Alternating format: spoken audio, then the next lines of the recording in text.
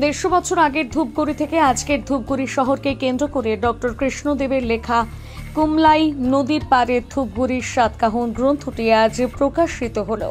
ধূপগুড়ি শহরের ঘোষপাড়া মোড়ের spice and আইস নামে এক বেসরকারি লজে বইটির শুভ উদ্বোধন করলেন ইতিহাসবিদ বঙ্গরত্ন ডক্টর আনন্দ গোপাল ঘোষ। উপস্থিত ছিলেন ধূপগুড়ির বিধায়ক অধ্যাপক ডক্টর নির্মল চন্দ্র রায়, বিশিষ্ট চা বিশেষজ্ঞ রাম অবতার শর্মা, অধ্যাপক সমীর মৈত্র প্রমুখ।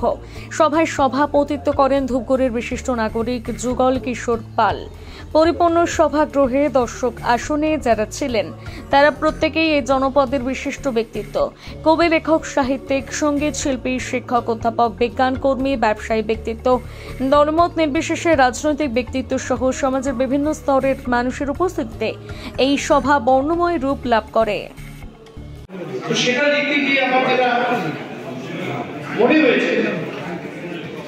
যে রিপোর্টটা পড়ি আর ছিয়ানব্বই সালে।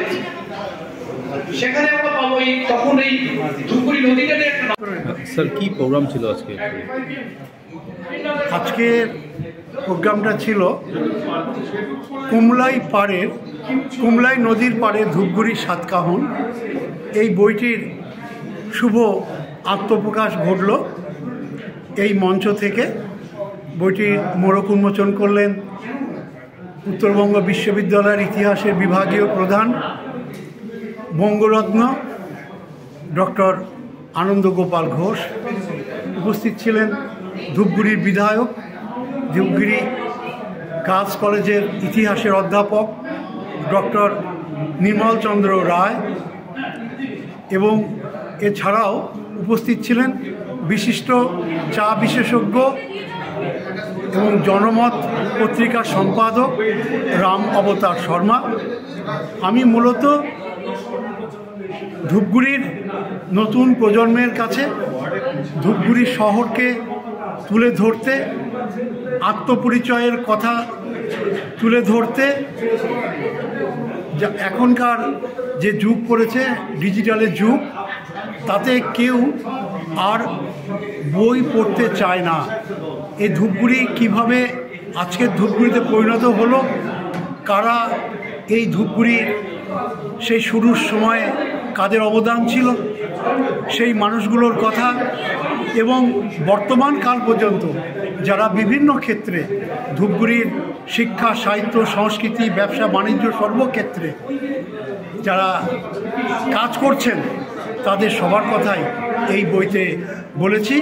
প্রায় দেড়শো বছর আগে থেকে পর্যন্ত ধূপগুড়ির কথা একশো চল্লিশ পৃষ্ঠায় লিপিবদ্ধ করেছি। আশা করব ধূপগুড়ি সম্পর্কে এই বইটি পড়লে সবাই বিস্তারিতভাবে জানতে পারবে। আর যে তত্ত্বগত ভুল আছে, যে তত্ত্বগত ভুল যদি যা আছে থাকতেই থাকাটাই স্বাভাবিক। পরবর্তী সংস্করণে এই ভুলগুলো সংশোধন করব। আর এই বইটি ধূপগুড়ি গীতাঞ্জলি পুস্তকালয়ে পাওয়া যাবে। স্যার যেমনটা আপনি কিছুক্ষণ আগে বললেন যে বইয়ের প্রতি আসক্তি হারিয়ে সেক্ষেত্রে আপনার এই বইটাকে আপনি ডিজিটাল কোনো সংস্করণ করবেন আমি চেষ্টা করছি অবশ্যই যাতে দূর দূরান্তের মানুষও দূর থেকে যারা অনেকেই বইটা কীভাবে পেতে পারি জানাচ্ছেন অনলাইনে পাবো কি না ইত্যাদি ইত্যাদি তাদের সবার জন্যই একটা প্রচেষ্টা আমার থাকছে যাতে ডিজিটালভাবেই বইটাকে সবার কাছে পৌঁছাতে পারি। আর এই বইটা কি শুধু মানে শহর কেন্দ্রিক গ্রাম ধূপগুড়ি শহর কেন্দ্রিক মানে ধূপগুড়ি পুরসভা এলাকা কেন্দ্রিক।